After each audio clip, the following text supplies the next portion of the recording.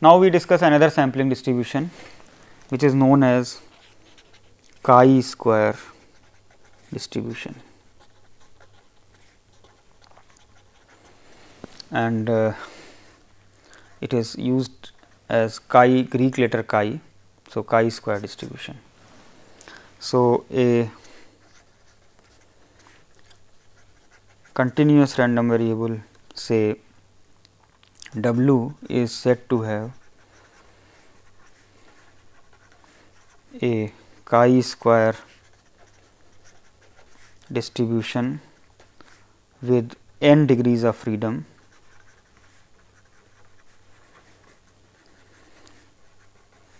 if it has probability density function given by say f w equal to 1 by 2 to the power n by 2 gamma n by 2 e to the power minus w by 2 w to the power n by 2 minus 1 where w is positive and of course n has to be positive. If we see carefully it is actually nothing but a gamma distribution with parameters n by 2 and 1 by 2. So, this is only a special case of gamma distribution. So, why we are calling it as a sampling distribution? So, we will show that this distribution arises in sampling from a particular population that means, we have certain characteristic for which this will be the distribution. Uh, before uh, doing those things let us look at the usual characteristics like mean variance and other things. So, since it is a gamma distribution we already know the mean it will be n by 2 by 1 by 2 that is equal to n. So, the term which we are calling as a degrees of freedom is actually the mean of the chi square distribution. Similarly, if we look at the variance in uh, gamma r lambda distribution the variance was r by lambda square. So, it becomes n by 2 divided by 1 by 2 square that is equal to twice n. So, that is 2 times degrees of freedom.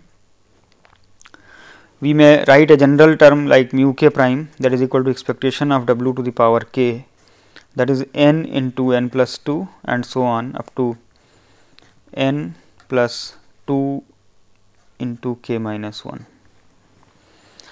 We may look at the moment generating function that is equal to 1 minus 2 t to the power minus n by 2. This is valid for t less than half. In particular, we may look at the third central moment that is 8 n. So, obviously, it is a positively skewed distribution. Since gamma distribution is positively skewed, so of course, depending upon different values of n you will have different shapes for the chi square variable. So, mu 4, but of course, if we look at the measure of symmetry that is beta 1 that is 8 n divided by 2 n to the power 3 by 2. So, it is becoming root 8 by n and as n becomes large this is approximately 0. Similarly, if we look at mu 4 that is 12 n into n plus 4 and uh, the measure of the kurtosis is mu 4 by mu 2 square minus 3 which is equal to 12 by n. So, it is positive. So, that means the peak is higher than the normal, but as n becomes large this is approximately normal. So, in fact, as n becomes large this is tending towards normality. Uh, that fact we can see from here also because it is 1 minus 2 t to the power minus n by 2 here if I take limit as n tends to infinity. So, we can after certain adjustment show that this will tend to the moment generating function of a normal variable. We will come to that later after representation of chi square is known.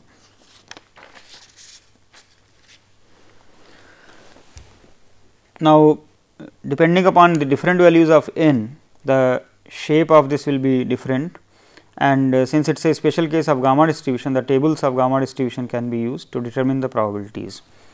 However, tables of chi square distribution are available for specific probabilities. So, if this probability is say alpha then the point on the axis is called chi square n alpha that is upper 100 alpha 1 minus alpha percent point of chi square n distribution.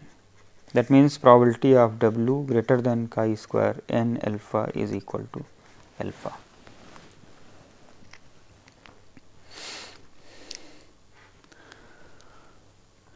Now, we see that why this is a particular case of a sampling distribution.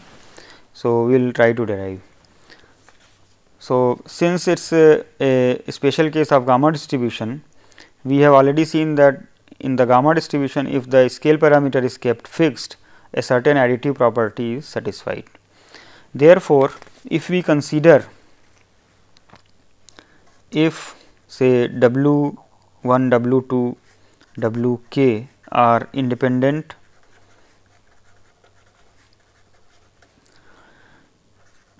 chi square random variables with say W i following chi square n i for i is equal to 1 to k.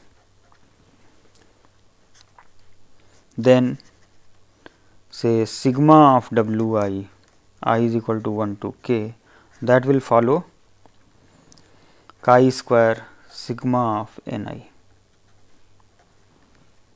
The proof is extremely simple because if we apply the property that the moment generating function of the sum is the product of the individual moment generating functions if the random variables are independent, then the distribution of the MGF of u will be product of the MGFs of w i which will be 1 minus 2 t to the power minus n i by 2. So, if we multiply out this will become sigma n i by 2. So, the distribution of the sum of the chi squares is again a chi square and the degrees of freedom are added.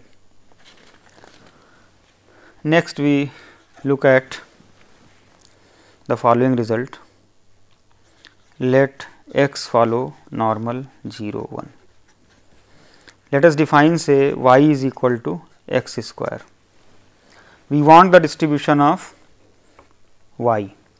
So, we look at the inverse transformation it is a 2 to 1 transformation the joint the density of x is given to be 1 by root 2 pi e to the power minus x square by 2 where x lies between minus infinity to infinity x is equal to minus root y and x is equal to plus root y are two inverse images for any y positive. So, if we look at dx by dy term that is minus 1 by 2 root y or plus 1 by 2 root y. So, when we take absolute value of dx by dy in both the regions it is 1 by 2 root y. So, the density function of y is obtained as 1 by root 2 pi e to the power minus y by 2 1 by 2 root y and second time again the same term will come. So, we will write 2 times this is for y positive and 0 for y less than or equal to 0.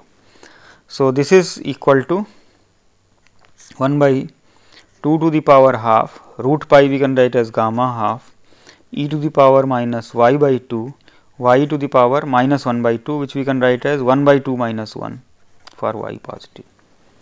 So, if we look at the density of a general chi square distribution here if we substitute n is equal to 1 then we get this density function. This proves that the square of a standard normal variable is a chi square variable with one degree of freedom that is y follows chi square on one degree of freedom.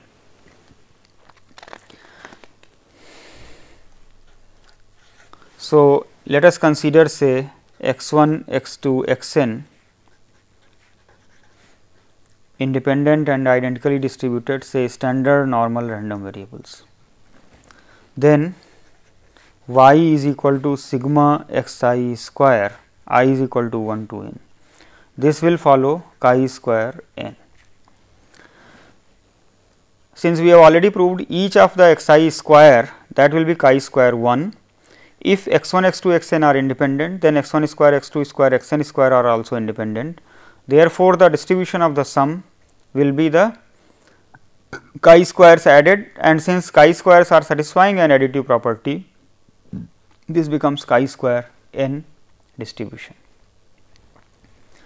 Now, you see if x 1 x 2 x n is a random sample from a standard normal variable, then sigma square x i square is a statistic and therefore, chi square becomes a sampling distribution. We will consider a further elaborate uh, description of chi square in the next section. So, now let us consider say x 1 x 2 x n be a random sample from say normal mu sigma square. So, in place of normal 0 1 now let us consider normal mu sigma square. So, if we define x bar as the mean then by the linearity property this will follow normal mu sigma square by n.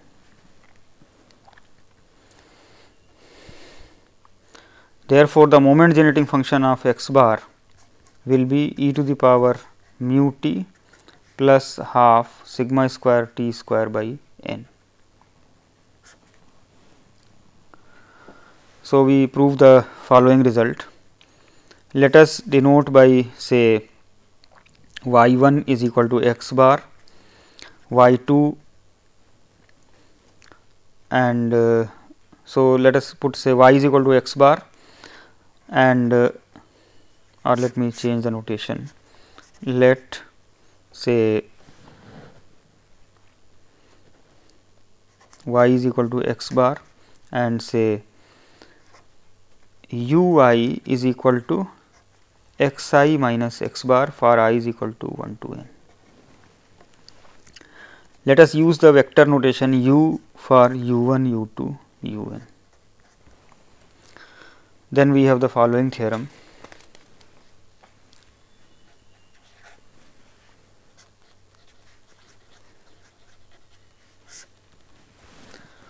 Let x 1 x 2 x n be a random sample from normal mu sigma square distribution. Then y and u are statistically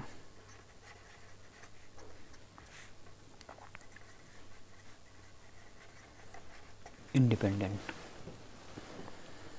That means, x bar is independent of x 1 minus x bar, x 2 minus x bar, x n minus x bar. Now, to prove this result we will use a moment generating function approach. We will show that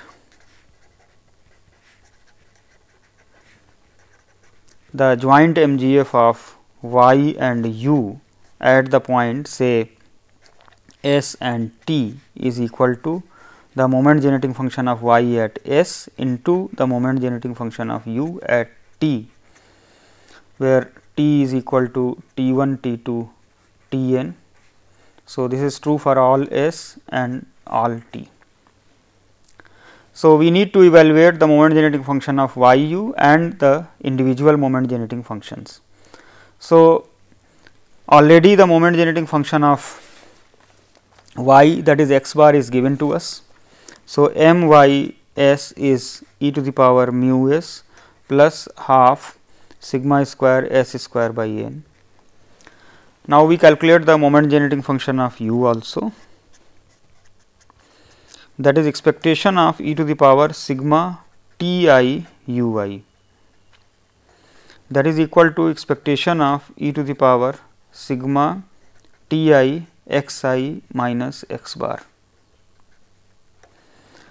At this stage I will introduce some notation. So, this becomes expectation T i e to the power sigma T i x i. Now, the second term here is minus x bar into sigma T i. So, we use a notation say T bar as the mean of T i's. So, sigma T i becomes n T bar. So, n T bar x bar. Now, once again since x bar is 1 by n sigma x i, n x bar becomes sigma x i. So, we can again use it here. So, this becomes expectation of e to the power sigma t i x i minus t bar sigma x i which is equal to expectation of e to the power sigma x i into t i minus t bar. Since the random variables are independent, x 1, x 2, x n are independent random variables, expectation of a product becomes the product of the expectations.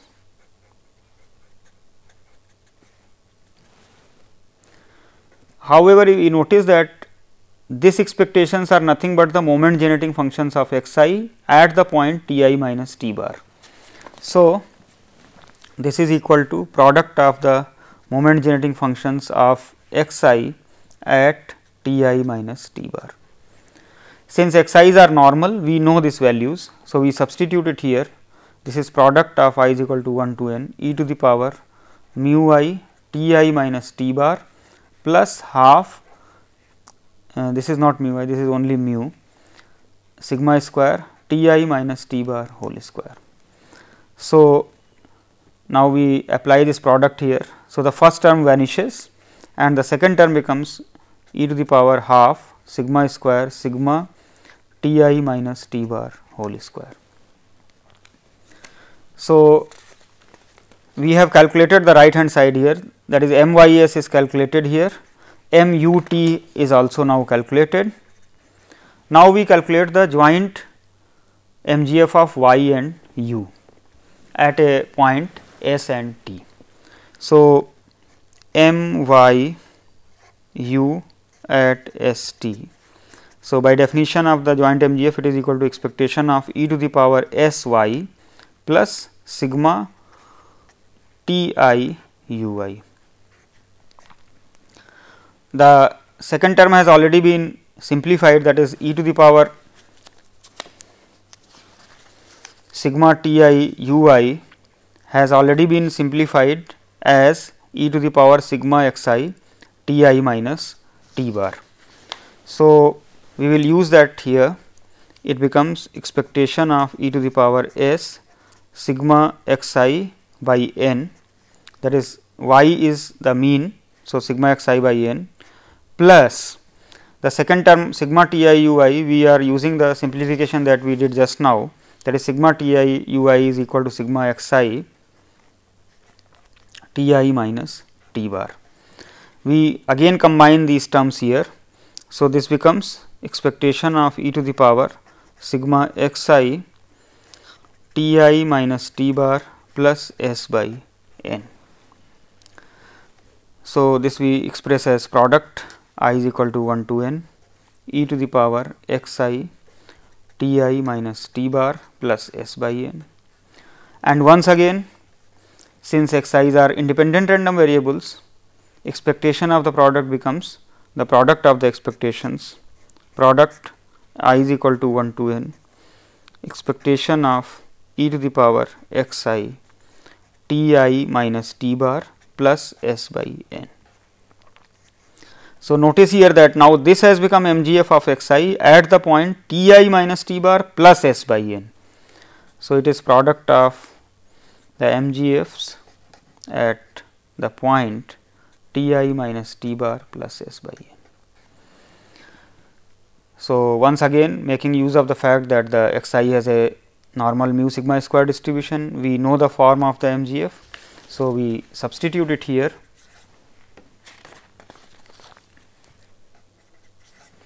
that is equal to product i is equal to 1 to n e to the power mu into t i minus t bar plus s by n plus half sigma square t i minus t bar plus s by n whole square. So, now this is if we apply this product here e to the power sigma mu t i minus t bar becomes 0. On the second term, we will get e to the power mu s. Here if we expand one term is T i minus T bar whole square and another term is S square by n.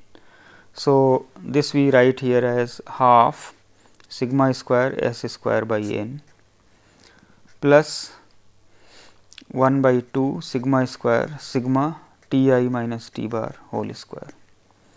The second term actually vanishes because cross product term will give S by n into T i minus T bar. So, sigma of that will be 0. So, if we utilize the relations 1, so the first term here is nothing but the mgf of y at the point S and the second term from the equation number 2 is mu t.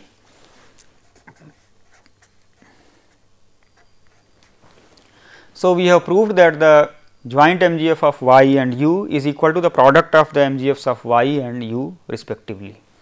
So, y and u are independent.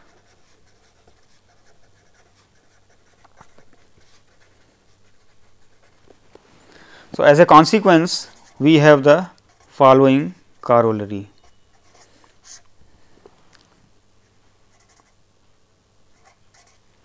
That is let x 1 x 2 x n be a random sample from normal mu sigma square distribution, then x bar and s square are independent. That is in a random sampling from a normal distribution, the sample mean and the sample variance are independently distributed. So, the proof follows immediately if we notice that s square is a function of u so, since x bar and u are independent therefore, x bar and s square are independent. Now, we will show that this is helpful to derive the distribution of s square. So, now we look at the following quantities.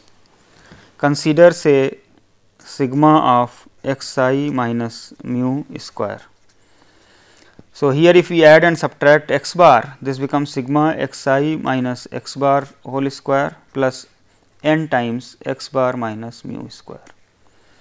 So, if we divide it by sigma square here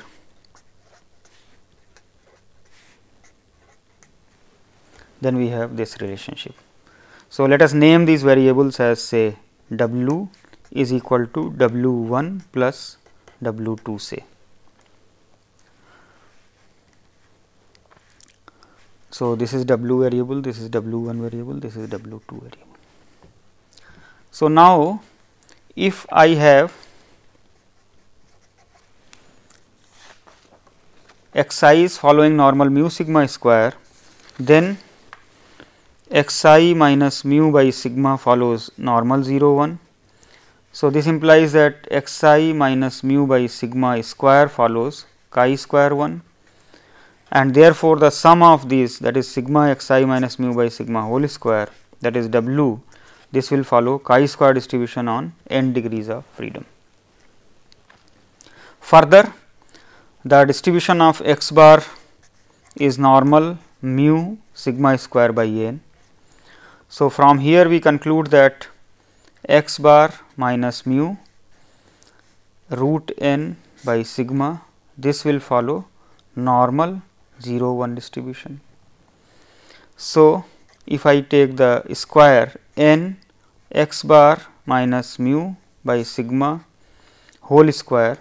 So, this will follow chi square distribution on 1 degree of freedom. This is W 2 variable. Also, W 1 and W 2 are independent.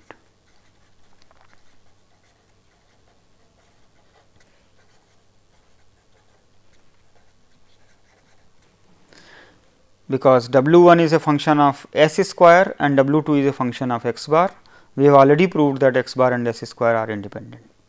So, here we have written W 1 a chi square n variable as a sum of two independent random variables of which one of them is already a chi square. So, now if we use the moment generating function property that is m w t will be equal to m w 1 t into m w 2 t. So, this means that m w 1 t is the ratio of m w t divided by m w 2 t. Since the mgf of a chi square variable is known that is 1 minus 2 t to the power minus n by 2 divided by 1 minus 2 t to the power minus 1 by 2 because W 2 is a chi square 1. So, this becomes 1 minus 2 t to the power minus n minus 1 by 2 for t less than half.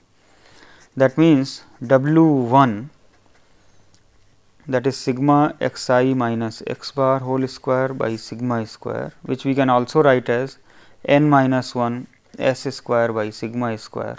This follows a chi square distribution on n minus 1 degrees of freedom. So, this means that chi square is a distribution of the sample variance after certain scaling. So, this shows that chi square is a sampling distribution. Either we consider a standard normal random variable. So, sum of squares of n independent random variables normal random variables is chi square on n degrees of freedom or if we are considering arbitrary normal random variables, then if we consider the scale distribution of the sample sum of squares from the deviation that is n minus 1 s square by sigma square, then that is chi square on n minus 1 degrees of freedom. Here we want to clarify one question that although this is sum of n variables, in fact, each of x i minus x bar is a normal random variable. In fact, x i minus x bar will follow a normal distribution with mean 0 because x i has mean 0 and x bar has mean 0 and variance will become sigma square 1 plus 1 by n. So, it is a sum of n squares of random normal random variables, but this is not independent because sigma x i minus x bar is 0. So, only n minus 1 of these are independent that is why the degrees of freedom are here n minus 1. So, in some sense this uh, degrees of freedom can be related to the fact that a general chi square random variable is sum of squares of n independent squares of standard normal variables. So, when we consider any other then it need not be. So, we have established here chi square as a sampling distribution and uh, in particular if we are interested to find out certain statement about uh, s square then we can answer that. For example, if we look at expectation of W 1 then it is equal to n minus 1. So, expectation of n minus 1 s square by sigma square follows. So, that is equal to n minus 1. So, this means expectation of s square is equal to sigma square. So, this means that on the average that is s square that is the sigma x i minus x square x bar square divided by n minus 1 is unbiased for sigma square not divided by n and that is why in particular we consider sample variance as where the divisor is 1 by n minus 1 not 1 by n because this is uh, coming as an unbiased estimator for sigma square. In the inference course we will deal in detail about the criteria of unbiasedness for. In the next lectures, we will uh, take up other sampling distributions such as T and F, F distributions. So, today we will stop at this point.